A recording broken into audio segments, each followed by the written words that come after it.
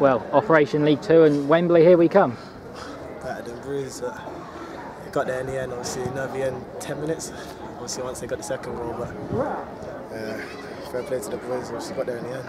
In this heat, how difficult was it to play?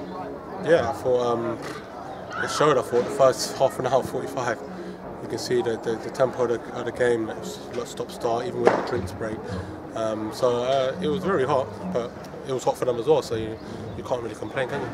What a time to score from yourself and what a finish. Uh, yeah, I mean, I, I got there ahead of Bailey. Um, obviously, Folivi um, s- um, slided me in, and yeah, I, I ended up uh, hitting the back of the net.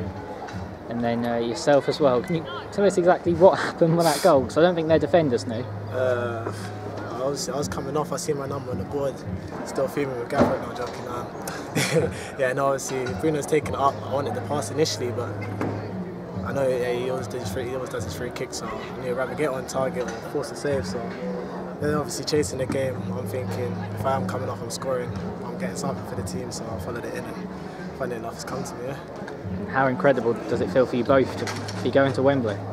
Yeah, I mean, for me, I've, I've been there before. Um, for the likes of Folivi, I don't know if he's been there before, but it'll be a good experience for him um, and a few, a few of the other lads. So um, it'll be a good day out for us, uh, for the for the town. We're, we're a small club, you know what I mean. Um, we've come a long way from the start of the season.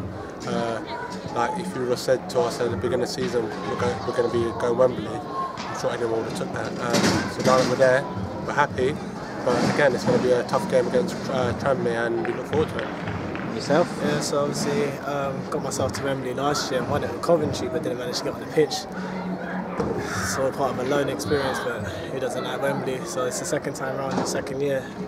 Hopefully done enough to get myself in that team. If not, play my part as I have this season. Um, haven't played as much as I want to, but obviously coming on a few times and they've always said in the change room, might not be the starters, but obviously it's a team game, so it could be anyone. And funny enough, I was sent into Wembley, so yeah, fair play to the gaff for having faith for me.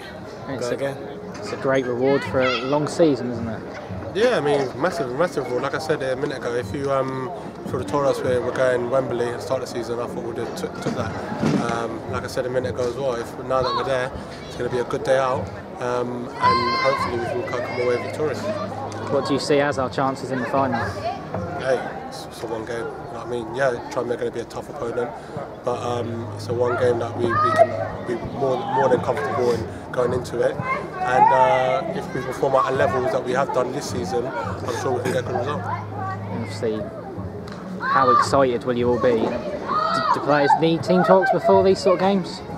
Uh, I guess it's like something that's can't really talk much. It's a- something that happens on the day, really. So whoever turns up, it's a 90-minute extra time and penalties if needed. So we've got experience in the team, good players, and as you say, it's one match away from Wembley. So if that's not enough to motivate you, then we're struggling. But obviously, got experience in the team and just cultured footballers, really. So I've got enough to get through it. Congratulations to you both. Thank you.